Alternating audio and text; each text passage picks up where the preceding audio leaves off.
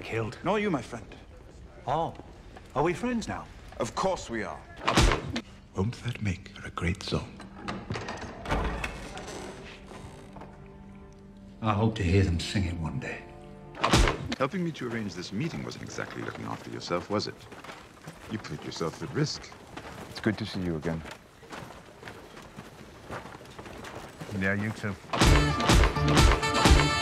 Good evening, Macabros, and welcome to episode 16 of Game of Thrones Rewrite. Today's subject the cutthroat with a heart of maybe not gold, but at least silver, Bronn. Although I am currently writing this sentence while staring at a blank page, I am going to venture a guess that this is going to be the shortest and most non thorough rewrite, simply for the reason that I think Bronn's arc is almost perfect in the show. That is, up until season 8. Show Bronn's arc is almost identical to his arc in the book, with him joining Catelyn Stark as she escorts her prisoner, Tyrion Lannister, to the Eyrie, fighting for Tyrion in his trial by combat, traveling with him back to King's Landing, becoming the de facto leader of the City Watch, and repelling the forces of Stannis Baratheon during the Battle of the Blackwater, for which he is later knighted, thus upping his clout throughout King's Landing, while still working as Tyrion's right-hand man. In both the book and the show, after Tyrion is imprisoned after the Purple Wedding, Bronn is summoned by Tyrion, who asks him to serve as his champion in his upcoming trial by combat. In the show, Tyrion has already demanded a trial by combat before he asks Bronn, whereas in the book, he asks Bronn to do so before he demands the trial by combat. But it's a minor detail that doesn't make all that much difference, because in both the book and the show, Cersei has arranged for Bronn to be wed to Lollys Stokeworth as a sort of bribe to sway him from being Tyrion's champion and in both, Bronn refuses to fight for him. Now, on paper, this may sound like Bronn just telling Tyrion to go fuck himself, but in both the book and in the show, it is made clear that Bronn's decision to not fight for Tyrion is one of pragmatism, as opposed to him just not caring. Though desperate and a little miffed, even Tyrion can't blame the dude for not sticking his neck out to such a reckless degree. However, I would say that Bronn's refusal to fight for Tyrion in the book works better than it does in the show, since in the book, we get insight into Tyrion's internal monologue, and though he does consider Bronn a quasi friend, he is also a bit more dismissive and in some cases glib towards him. This fits, since book Tyrion isn't as sympathetic or straight up likable as show Tyrion is. In the show, the chemistry between Peter Dinklage and Jerome Flynn is fantastic, and because of this,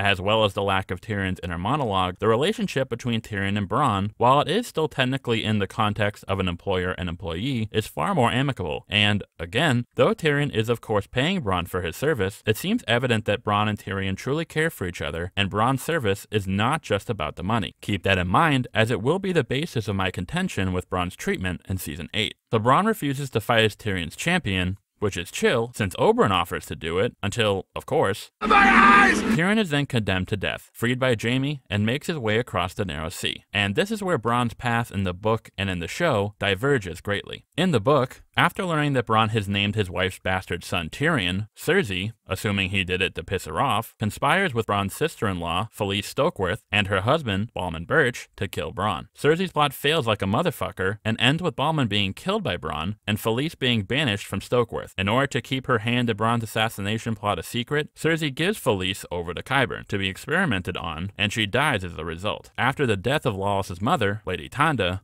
Lollys becomes Lady Stokeworth, thus making Bronn her lord. Now that is the last we see of Bronn for the time being, and his role in the future isn't all that certain. However, in the show, as we know, Bronn's role is heavily extended. Rather than indulging in the whole Cersei trying to kill him plot, the writers have Bronn be recruited by Jaime Lannister to come with him to Dorne to retrieve Myrcella in Season 5. He later works with Jaime again in Season 6, when Jaime seeks to settle the siege of Riverrun. And in Season 7, we see Bronn is still working with Jaime as he commands the Lannister army though Bronn remains in King's Landing when Jaime sets off for Winterfell at the end of the season. Now, while any sort of extension or revision of the source material has rarely been to the benefit of the show, I actually think the writer's decision to keep Bronn in the show to a greater extent by having him buddy up with Jaime is one of their absolute best. For the show, Bronn basically ends up taking the place of Ilyn Payne. In the book, it is Sir Ilyn who trains with Jaime and later accompanies him to sell the siege of Riverrun. Since Sir Ilyn isn't the chattiest guy in the world, not really sure why, Jaime employs him in order to keep his sword training a secret and uses him as sort of a human diary, indulging his more private thoughts to him. But having Bronn take his place only enhances the story tenfold, as the chemistry between Bronn and Jaime is just as entertaining as the chemistry between Bronn and Tyrion. As I said, Bronn's arc in the show is pretty damn solid, and thus I would probably leave it alone all the way up until the end of season 7. The only changes we would have to make to Bronn's arc as a result of the changes we have made thus far are minimal. Per the Blackfishes episode, we are switching the Dorne and Riverrun storylines of season 5 and 6 respectively, but this really doesn't affect his arc in any big way. So I am surprised as you are when I say that Bronn's arc all the way through season 7 is pretty damn perfect, and I wouldn't change a thing. But then we get to season 8 and...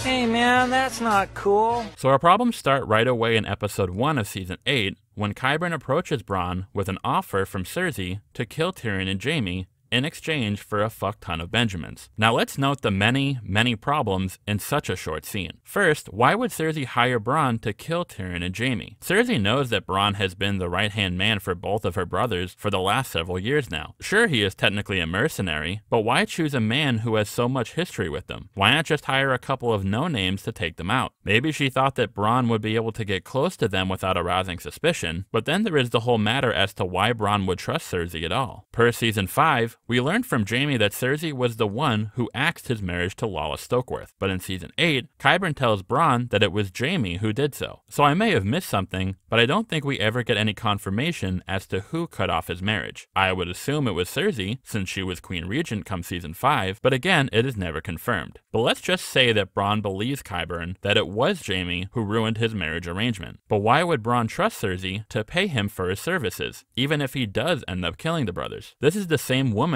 who just blew up half the damn city and has been ruling over it with an iron fist. Sure, he has been enjoying his time in King's Landing, but why would he trust her to keep her word? The best case scenario would be him killing Tyrion and Jaime, hitting Cersei up for his reward, and getting told to go fuck himself. And if he gave any lip, Cersei would just have Gregor split him in half, and not in the good way. It's even more nonsensical if you have read the books and know that Cersei tries to kill Bronn, and then later, after she fails, she kills the person whom she conspired with to carry out the hit, which would be Bronn in the show's scenario. But whatever. I honestly think the writers didn't know what to do with Bronn once he was separated from both Tyrion and Jaime, and didn't want to just forget about him and have us assume he was just killed during the burning of King's Landing or fucked off somewhere before Dany and co rolled up. I mean, could you imagine if the writers just completely forgot about a particular character and never explained their ultimate fate? Like, not even in passing or with a throwaway line? They just acted like they never existed? That would be stupid. Anyway, I guess I can sort of buy that Cersei would send Bronn after Tyrion and Jaime just in case they survived a long night. Even if she thought he would never do that and turn on her, which is exactly what he did, at least there was always the slim chance that he would kill them. And maybe she, in her CBP paranoia, was even a bit wary that he may try to pull some shit if things started to go south once Dany rolled up at the front gates. Whatever, I suppose I can handwave this scene. But then there is the scene where Bronn meets with Tyrion and Jaime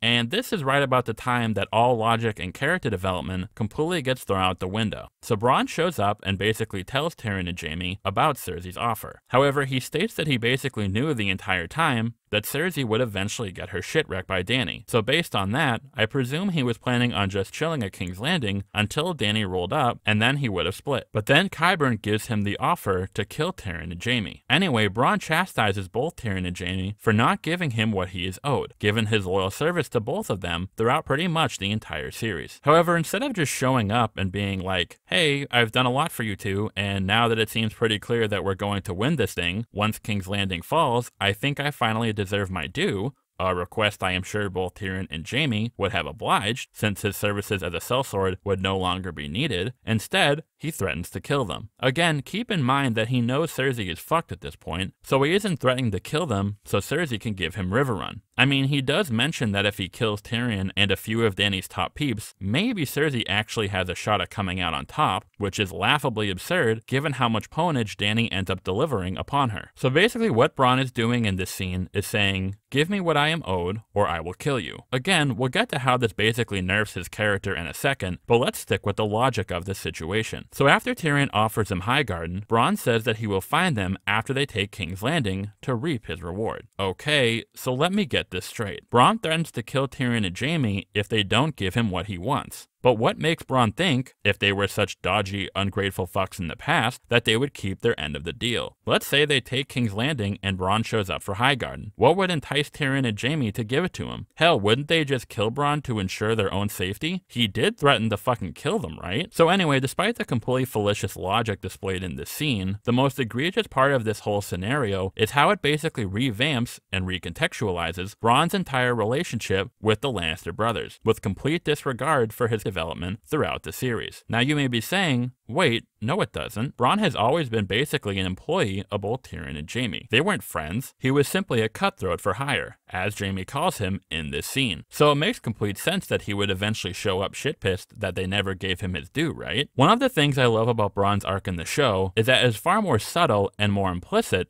than any other character. By that I mean Bronn's character arc is not demonstrated through huge dramatic events that lead to very clear and cemented plot beats, but rather must be implied through his behavior and interactions with the other characters. Even though Bronn and Tyrion's relationship throughout the first four seasons was technically an employer-employee one, there are a number of scenes that show that they seem to be forming a friendship, one that goes beyond monetary gain. Now of course Bronn wants money, Dodoy, but we also see that he and Tyrion seem to be buddying up. Perhaps this is simply due to the charisma of both Peter Dinklage and Jerome Flynn, and the writers having a bit of fun with their back and forth, which is filled with humor. But you can't just disregard that. This is cemented when Bronn comes to Tyrion after Tyrion is imprisoned following the Purple Wedding, which he also does in the book. So here's a question. If Bronn's relationship with Tyrion was strictly a financial one, why even show up? Why does Bronn meet with Tyrion and offer him an explanation as to why he won't be his champion. During the scene, it seems as if Bronn isn't totally dismissive or apathetic about Tyrion's predicament. He seems to be a bit remorseful about his refusal to fight for Tyrion. Again, we as an audience and even Tyrion himself don't blame him for it, but we can see he does feel a bit guilty about his decision. He even acknowledges himself as a friend of Tyrion's. But then in season 8,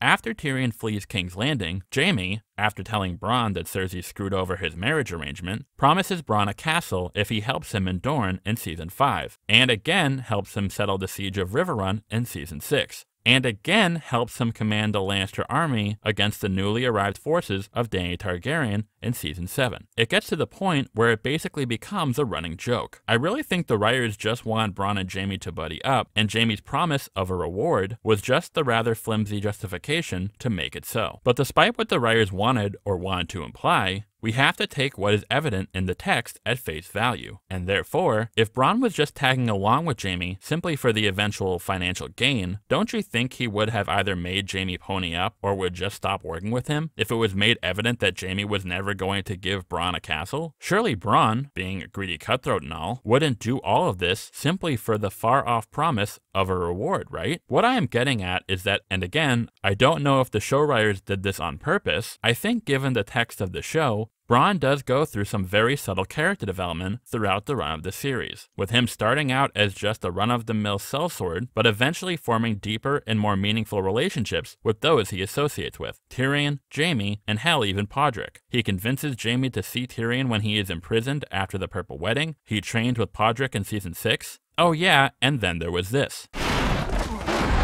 So, again, I think this may not have been intentional by the writers. Maybe they just wanted this kick-ass shot of Bronn saving Jaime from Drogon's fire because it was dope as hell. But I wonder if they realized what this seems to imply about Bronn's character. After Bronn and Jaime survive Dany's attack, Bronn tells Jaime that the only reason he saved him was because he needs Jaime alive so he can reap his reward. But does anyone really buy that if Bronn is meant to be portrayed as just a greedy cutthroat, he would do something like this simply for the prospect of financial gain. I saw Bronn's insistence that he saved Jaime strictly to make sure he gets his payment as sort of part of a running joke. Bronn doesn't necessarily want to admit he saved Jaime because he actually sees him as a friend, so he just chalks it up to doing it for money. But the show wants to simultaneously have you believe Bronn is all about the Benjamins and will take out anyone who gets in his way, but also that he seems to have developed strong relationships with those around him when he doesn't need to, and pulled a risky as fuck YOLO charge in order to save Jaime's life. Life. Even if you think there really isn't enough contextual evidence presented in the show to give the impression that Bronn has either changed over the course of the series or has remained the same old cutthroat he has always been, I'd argue the former is the more interesting and rewarding of the two. Having Bronn show up and threaten the lives of Tyrion and Jaime, the brothers he has been at the side of for literally the entire series, just seems off. It seems like the show tries to walk back on the developed relationships that they may have inadvertently had Bronn form with them both. Fuck, Jaime even says,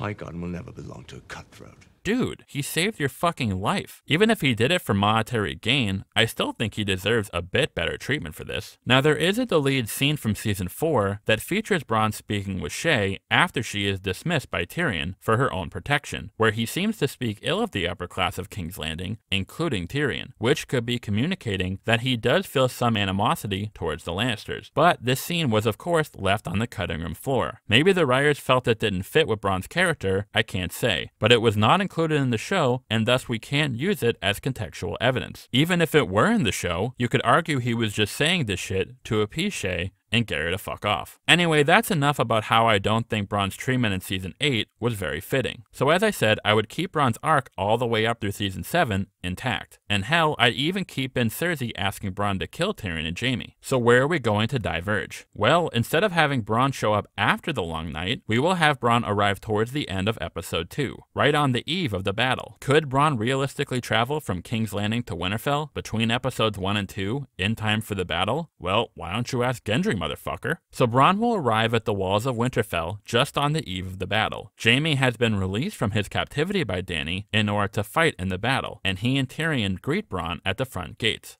Bronn tells the brothers of Cersei's offer, but says he has opted for Tyrion's deal of offering him double whatever he is offered to betray him. When Tyrion asks him why Bronn showed up before the battle and didn't wait until after, as he does in the show, Bronn says he knows Cersei would never pay up, so he has to make sure either Tyrion or Jaime survive so he can receive his payment, which of course will act as a callback to the same excuse he has used throughout the entire series. But in this instance, I think it would be nice if it is made clear that Bronn has, to some extent, changed and is fighting for the side of the living, not just for the coin, but due to the friendships he has formed throughout the series. Maybe Tyrion or Jaime even calls him out on this, and he finally admits that he has actually grown to see the brothers as his friends. So Bronn will arrive before the battle begins and will opt to be by Tyrion's side for the duration of the battle, as his personal bodyguard, just as he was in the beginning of the series. Side note, the crypt idea is fucking stupid. Instead of putting the women and children in the crypt, just put them in the library or the basement of the castle or something, I don't know, wherever there isn't a plethora of cadavers.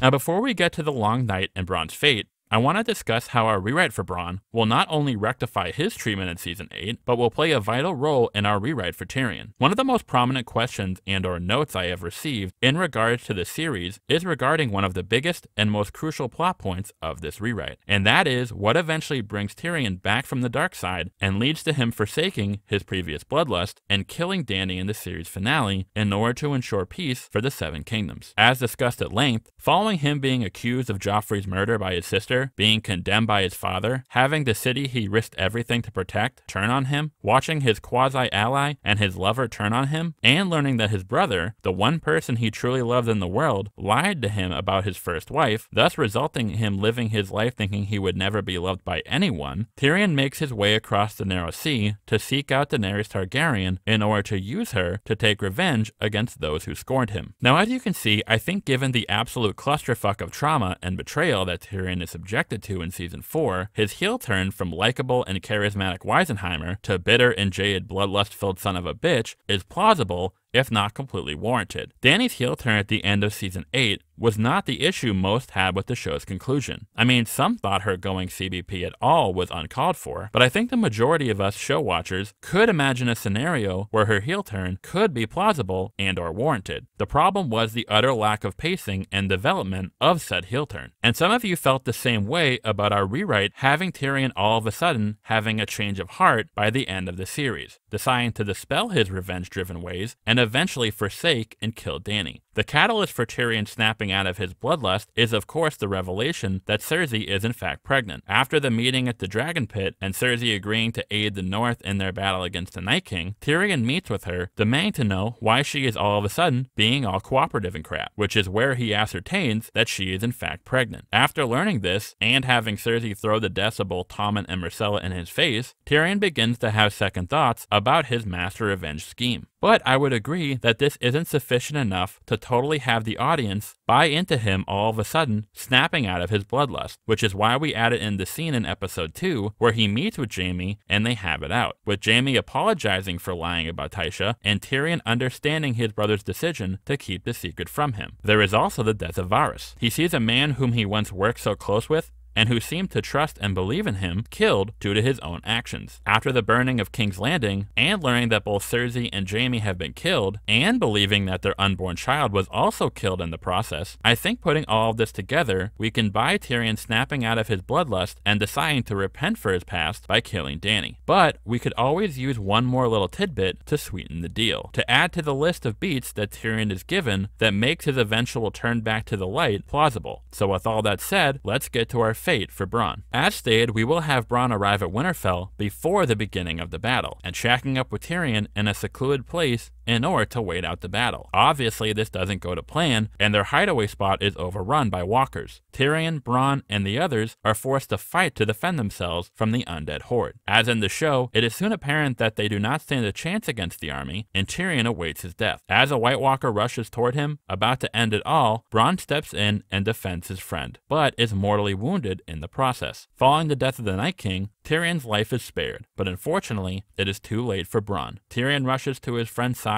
and they share a final conversation. Perhaps Bronn makes a crack about saving Tyrion's life twice now, or perhaps he says he owed him one for not fighting for him during his trial by combat back in season 4. In any case, their final conversation will reveal and highlight that Bronn has truly cherished Tyrion's friendship over the years. Bronn's death as a result of saving Tyrion will serve as another brick in the wall, if you will, in causing Tyrion to forsake his revenge driven ways by seeing a man whom he truly considered a friend sacrifice everything for him. Tyrion realizes that he truly did have someone in his life who cared for him, even if their friendship was mostly an unspoken one. I think this works as an additional character beat for Tyrion, supporting his decision to kill Dany in the finale, and acts as a fine culmination of Bronn's arc. A sellsword who believed in nothing and cared for no one through developing relationships with the most unlikely of individuals, ends up deciding to fight for something other than just money and caring for those he considered his friends. And that is all for today's episode. As I said, not the most thorough or complicated rewrite, but I think it cleans up Bronn's arc and supports Tyrion's, so hopefully you felt it worthwhile. Next up is, and I know I said I wasn't going to do it, and I'm not too happy about it, but fuck it, I guess it's too late to stop now.